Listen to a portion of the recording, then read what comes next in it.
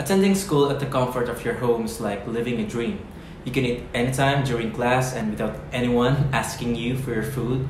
It's very easy to go to the bathroom and answering tests and quizzes has never been easier. But usually in most cases like these, we tend to forget why we're going to school. Is it to get good grades, get a high honor, make friends? And while I agree I also want those things, it's the authenticity that is getting blurry and blurry in our current state of doing online classes. I'm not saying online classes are bad.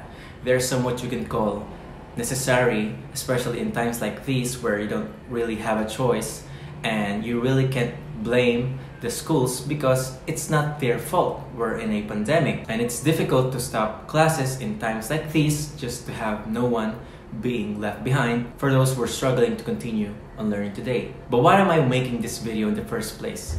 Well, because of online classes. As a teacher, not me of course, I'm not a teacher or at least not yet, but for those who are teachers, how can you be so sure that your students are learning, that they are listening, that their answers on your Google Forms are their answers to their classmates. I'm not saying this because I don't do copying, and while students copying each other also exist in face-to-face -face classes, I'm going to be honest to say that I don't think online class prevents this from happening and I actually think that it is kind of promoting it. Now, it's not the school's fault, it's not the online classes fault, but I think it's more on the environment that the online class brings. It's like this, you're sitting in front of your device whether that may be your phone or a laptop, and you're taking a quiz, but you don't know the answer to that specific question you're currently in. So what are you gonna do? Are you just gonna sit there and do nothing?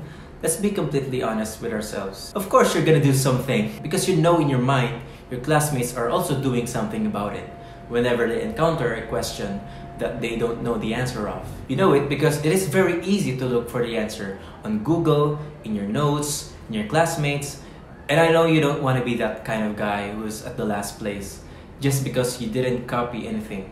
I think it is still very much possible to learn something in online class because I myself, even though I don't want to brag anything, I know I learned a lot. But I'm going to be honest to say that it is not as much as my grades would tell everyone.